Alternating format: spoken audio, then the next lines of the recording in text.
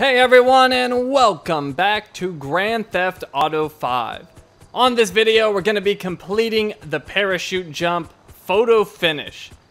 Now this one is located inside of the racetrack uh, right here near some water. Um, so just head in here, there's going to be a helicopter waiting. And uh, this whole area just makes me sad. I wish they would have used it. There's a casino here and a racetrack here and it's just completely unused in the game. Total bummer. Alright, so anyways, uh, we're gonna head over to the helicopter. My homeboy Franklin, what's happening, man? You want to go up? I can drop you over the racetrack. Nah, so let's jump in. And take us up.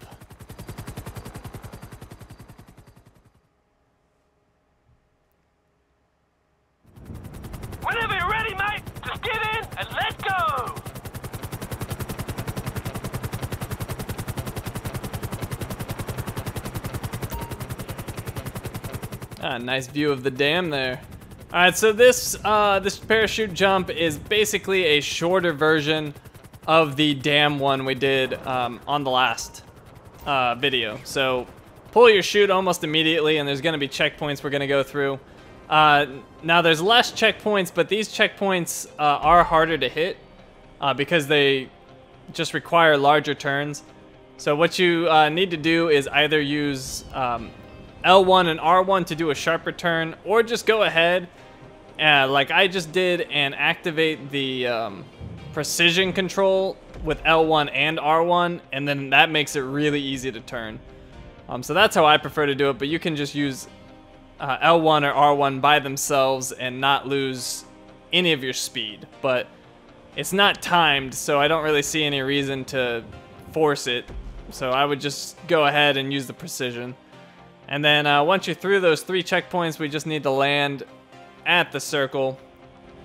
And that should be easy enough, especially with the precision. So we're pretty close now. Go ahead and activate the precision. And we're to land right in the center. Oh, I missed it a little bit, but that's okay. Not the best landing. Landing accuracy was 91% because of that. So not very good, but whatever. We just need to finish it. And that's precisely what we did. So let's go ahead and continue. And there we go. That's gonna do it for this video because we got our parachute jump completed.